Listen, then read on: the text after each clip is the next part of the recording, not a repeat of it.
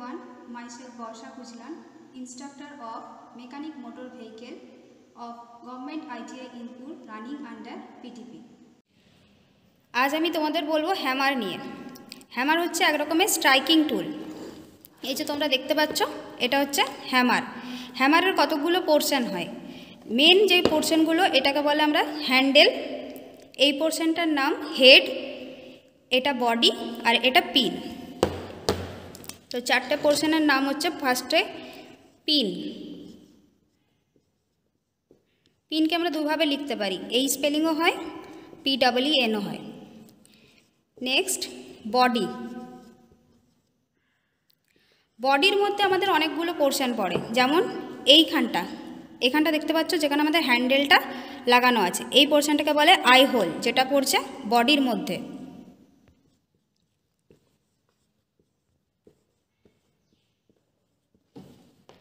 এর সাথে থাকে ওয়েজ।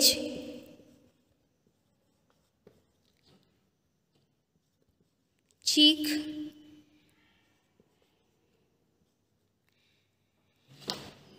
নেক্সট পোর্শন হচ্ছে হেড। যেখানে আমরা পাই ফেস। আরেকটা হচ্ছে হ্যান্ডেল। তো দেখো, আমরা যেটা বললাম এটা হচ্ছে পিন অ্যাকর্ডিং টু পিন আমরা এই হ্যামারকে তিন ভাগে ভাগ করতে পারি। যেটা হচ্ছে বল পিন এই পোর্শনটা বলের মতো দেখতে সেই জন্য এটাকে বলে বল পিন হ্যামার আরও দু রকমের হয়, যেটা হচ্ছে এটা ক্রস পিন হ্যামার কারণ এই হ্যান্ডেলের সাথে দেখো, এই পোর্শনটা নাইনটি ডিগ্রিতে আছে। হ্যান্ডেলের লাইনটা এই সাইডে কিন্তু মাথার পোর্শনটা আছে এই সাইডে সেই জন্য এটাকে বলি আমরা ক্রস যেহেতু এইটা, এই পোর্শনের সাথে এটা ক্রসে আছে। আরেকটা হয় যেটা হচ্ছে স্ট্রেট পিন হ্যামার, যেখানে কি হয়, এই পোর্শনটা হ্যান্ডেলের সাথে প্যারালালভাবে থাকে। সেটাকে আমরা বলে থাকি স্ট্রেট পিন হ্যামার। এবার এই পোর্শনটা তো গেল আমার পিন।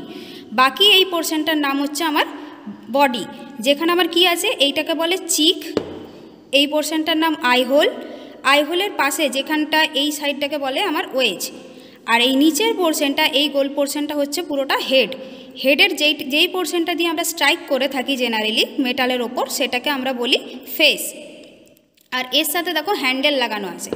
এবার এই হ্যামারের এই পুরো পোর্শনটা আমাদের তৈরি হয় কাস্টিল দিয়ে। কিন্তু আমাদের হ্যান্ডেলটা কিন্তু কাস্টিলের হয় না, এটা জেনারেলি উডের হয়। কারণ আমরা যদি মেটালের তৈরি করি, তাহলে ভাইব্রেশনটাকে অ্যাবজর্ব করতে পারবে না, যেহেতু হ্যামার এক রকমের স্ট্রাইকিং স্ট্রাইকিং টুল তো সেই কারণে আমাদের কি হয়, যেহেতু উড এটাকে অ্যাবজর্ব করতে পারে, ওই জন্য আমাদের হ্যান্ডেলটা করা হয় উডের এরপর আসি আমরা হ্যামার দিয়ে যে অপারেশনগুলো করে থাকি। জেনারেলি আমরা হ্যামার দিয়ে পাঞ্চিং।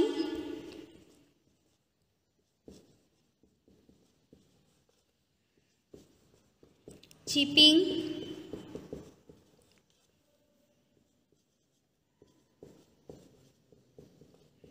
বেন্ডিং। রিভেটিং। এইসব অপারেশন আমরা করে থাকি। এবার আসি size of hammer hammer generally সাইজটা আমরা, আমাদের ওয়েটের ওপর ডিপেন্ড করে হয়। ওয়েট ওপর ওপর ভ্যারি করে যে হ্যামারের সাইজ কীরকম হবে। তো আমাদের জেনারেলি তিন রকমের হ্যামার হয়। প্রথম হচ্ছে hand hammer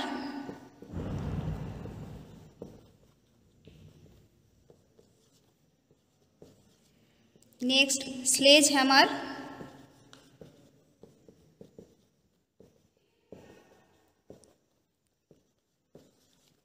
and তিন নম্বরে হচ্ছে পাওয়ার হ্যামার হ্যান্ড হ্যামার আমরা জেনারেলি বলে থাকি যেগুলো আমরা বাই হ্যান্ড অপারেট করতে পারি। এগুলোর ওয়েট জেনারেলি আমাদের ওয়ান পয়েন্ট ফাইভ কেজি পর্যন্ত হয়। এরপর যদি আমার ওয়ান পয়েন্ট ফাইভ কেজি হ্যামারের ওয়েটটা এক্সিড করে যায়, পার করে যায়, তখন সেটাকে আমরা বলি স্লেজ হ্যামার যেটা আমাদের ওজন হয় বেসিক্যালি দুই থেকে দশ কেজির মধ্যে।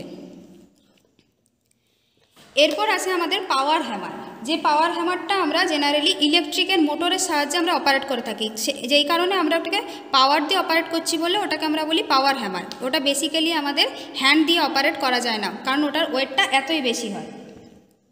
তো সেটা আমাদের ইউজ করা হয় জেনারেলি ফোর্জিংয়ের ক্ষেত্রে।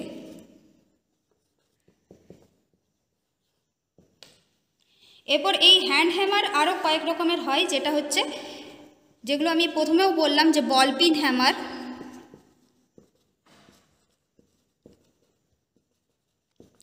cross pin hammer straight pin hammer double face hammer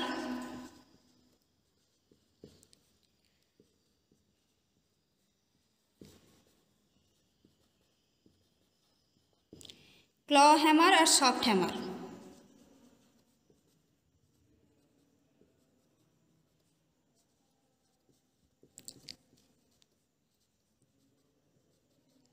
এবার আমি তোমাদের এই ball pin cross pin straight pin আমি দেখিয়ে দিলাম। এই তিনটে কীরকম হ্যামার হয়।